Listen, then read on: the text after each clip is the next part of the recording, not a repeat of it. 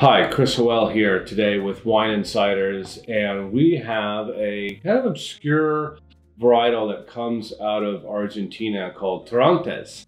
This is a 2019 Finca Los Olmos Torrontés Selección Especial from Mendoza, Argentina. Uh, this is a wine that you will find a lot of if you are in Argentina, but you don't see a whole lot of it brought here to the United States. Let's smell it. Typical Torrontés fashion, it just jumps out of the glass like a ninja.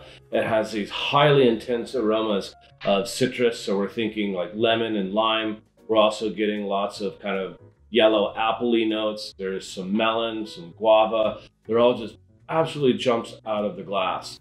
Um, sometimes Torrontés can be high in alcohol. This one here, we're only looking at 12.7, so it's liver. This is a delicate style wine that's new or neutral. Let's taste it.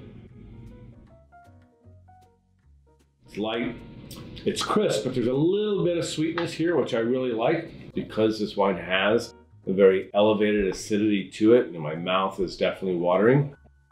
Having a little bit of that RS, that residual sugar, in the wine is a good thing. It kind of brings it into balance. It is by no means a sweet wine or even an off-dry wine. It has just a little bit of uh, sunshine in there. Well, Torrontés, to me, always has this beautiful perfume, perfume note to it.